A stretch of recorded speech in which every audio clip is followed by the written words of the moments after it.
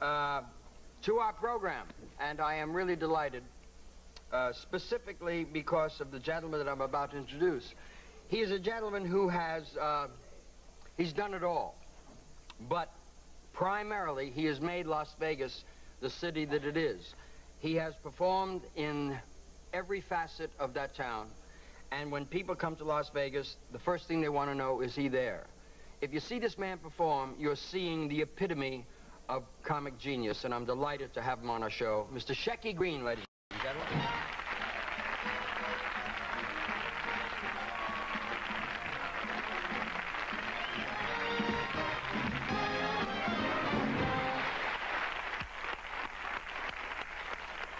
Right, set. Thank you. Right there. What a thing to introduce me about Las Vegas. They're on strike right now with all the troubles going on and everything else. I know, but you still I should have come town. here with a poster. You still made the town. You're one of the forerunners of making entertainment important in the city. And I remember, I'm going back a long way. I remember one night at the Riviera Lounge, I laughed as hard as I've ever laughed in my life.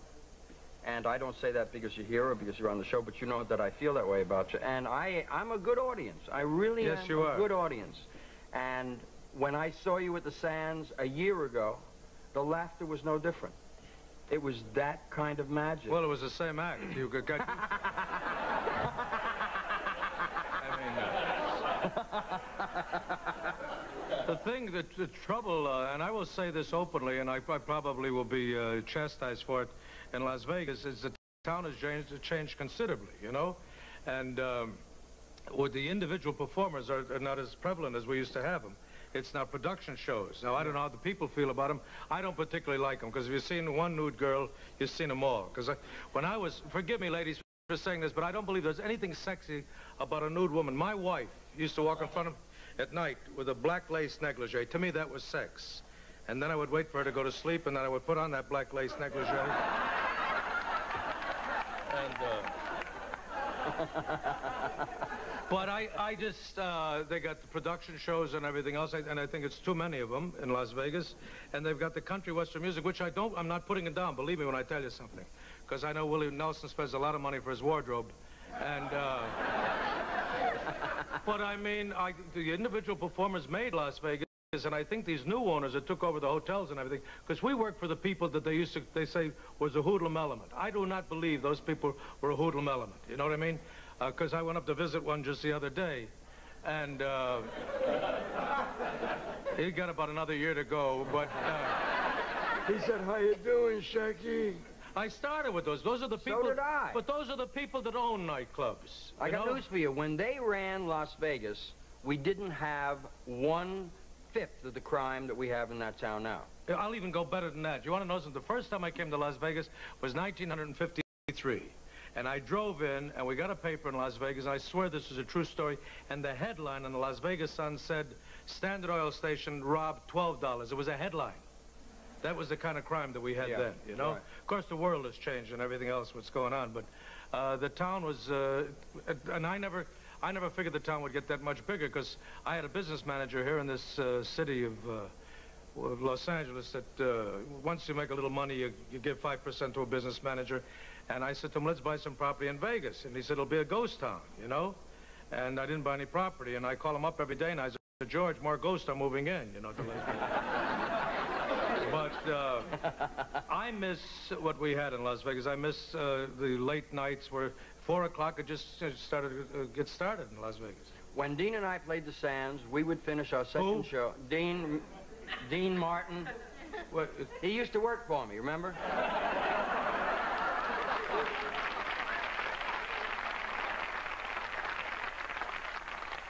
Everybody loves so oh, that one. Yeah, that, the that- one, right. Dean and I would do our shows at the Sands, and then we would do a lounge show at the Sands at 2.30 or quarter three in the morning. Then we'd go over to the Frontier with Sam Butera and Louis Prima. We'd be up until 6 in the morning, 7, 8 in the morning, and I know you did the same thing. And we had the kind of a town where buffets were not charged. People would come in and have a free buffet. A, a I'm high still, are you kidding? That's 20 years ago. I'm still living off the buffet. Take a look at that. That's from 20 years ago. All right. I'll give you about a minute and a half to relax that so it'll go down. We're going to be back in just a moment after these important words from our sponsor.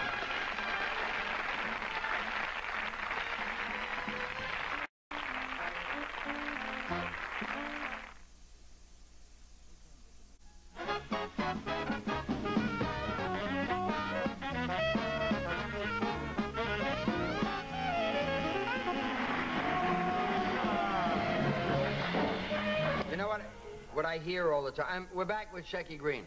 Uh, what I hear all the time is people, Greenfield. That's my real Schmael, Schmael Schmael. Greenfield. Shecky Greene. when I see people that have seen your show, and I have heard it from people who are in our business that I play golf with, shouldn't Shecky sing more?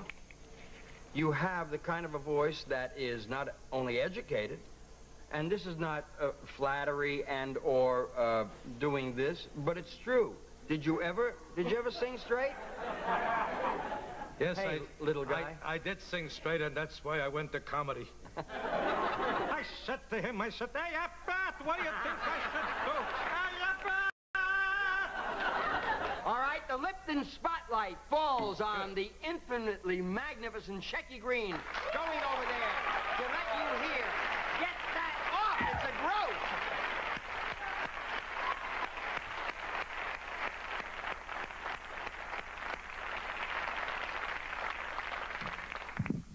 Singing. A pavarotti can sing.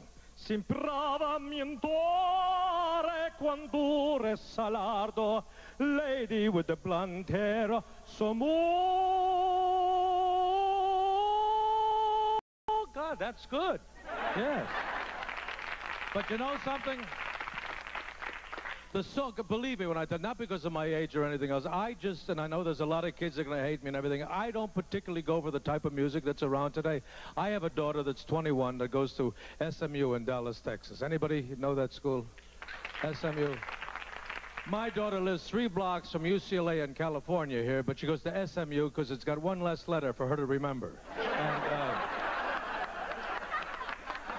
brilliant student, straight A's, straight A student. Ask her anything, she goes, hey, hey, hey. Anyway, she said to me, Uncle Daddy, because I don't see too much of her. She's Uncle Daddy. She says, "Uh, why don't you use groups when you work? You know, and I, said, I like individual performers. I do. I like to work with Vic Damone I, because not only he's got a great voice, I just like his initials. And uh, I work with uh, I work with people like Frank Sinatra, and uh,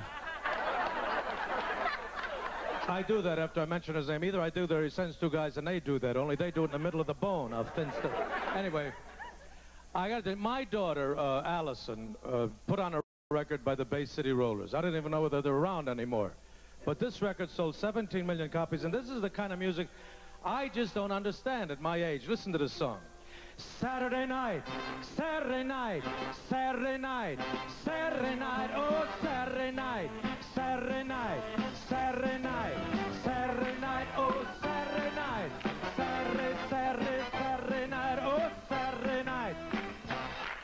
That's a real song.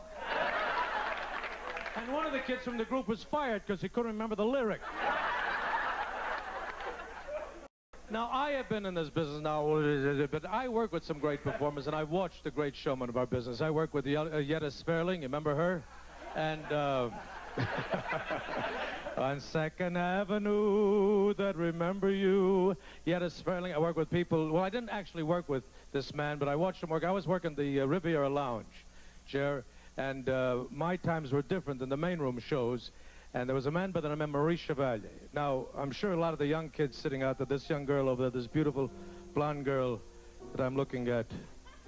Beautiful blonde girl with glasses.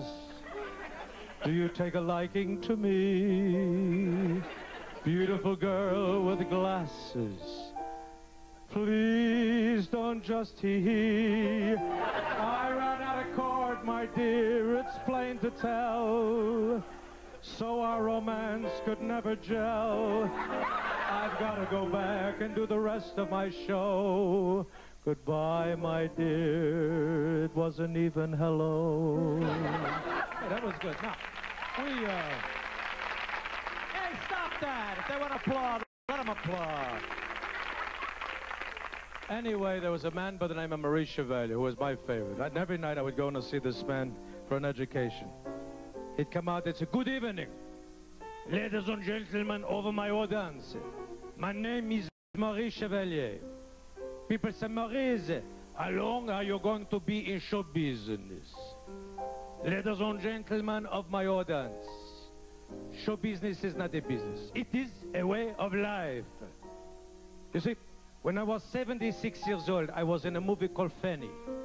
There was a part in Fanny. Naturally, there was a part in Fanny.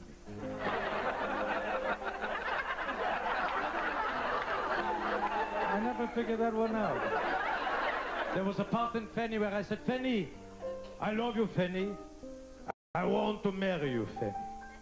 She said, no, Maurice. No, Panisse. Is you want to take it again or what? She said, Panisse, I cannot marry you, Panisse, because I don't love you, Panisse. I am in love with someone else. And besides Panisse, I am pregnant with someone else's child. Wonderful, Fanny. Because when the little boy is born and he opens up his eyes, I will be the first thing he sees. I will be his papa. You see, Fanny, a young man's love is different than an old man. A young man is physical and passionate. An old man is loving and tender. You see, Fanny, to me, love is the touch of your hand against my face. This is love, Fanny. Love is the touch of my lips against your brow. This is love, Fanny. Love is the touch of your face against my Fanny. This, I think, is the wrong routine. I don't know this one so well. I think I better run over it. And then he would sing a song, Maurice Chevalier. J'ai l'arrange qui seul est au champ fou, que mères sont tradies. You are la vie rose, et malheureux du cendre est ici vu. Mais elle est fossou. Happy Pesach to all of you. You speak French. This song that I sing is not really a song. It is a story. It is a story of an old lady by the name of Mademoiselle Gouletoiche. She was 92 years old. She wanted to commit suicide. She turned on the gas. But it was an electric stove. Electric stove. you fool, say it again. It was an electric stove. She tried to jump out of the window, but she lived in the basement. She was unhappy with her life. She wanted to commit suicide. She said, God, I want to die. I am old, and there is no one left for me. And then a voice said, Mademoiselle Gouletoiche, who is that? It is me, a voice, Mademoiselle Gouletoiche. Whether you are nine days old, or nine years old, or 90 years old, life is the most important thing in the world. Hold on to every day of it. You are important to the world. You are not going to die. But you don't understand, voice. There is no one for me. I want to go. No, Mademoiselle Gouletoiche. You are very good to everybody in your life. You have two wishes coming. Make them, they shall be granted. I must go. And the voice was gone. She was I dreaming? Am I senile? Is it true? I have two wishes coming. And she looked in the mirror. And she said, I want to become young and gorgeous and sexy. And voila! She became young and gorgeous and sexy. She couldn't believe what she saw. She touched her body. She had one wish left. You think she wished for a pot of gold?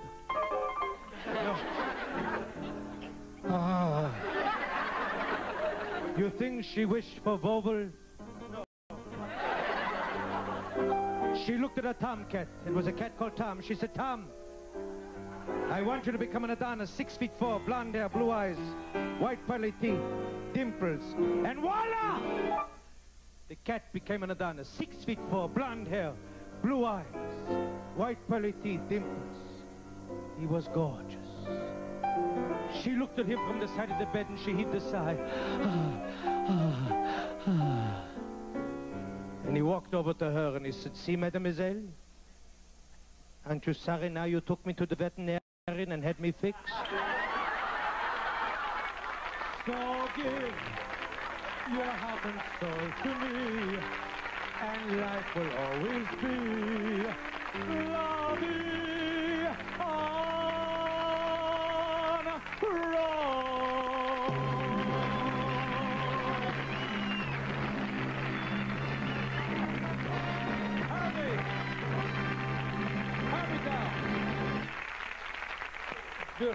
Beautiful. Harvey down. Shecky Greene! Oh, We'll Jerry be right Lewis. back! We'll be right band. back! Beautiful, Jack. Good audience, warm.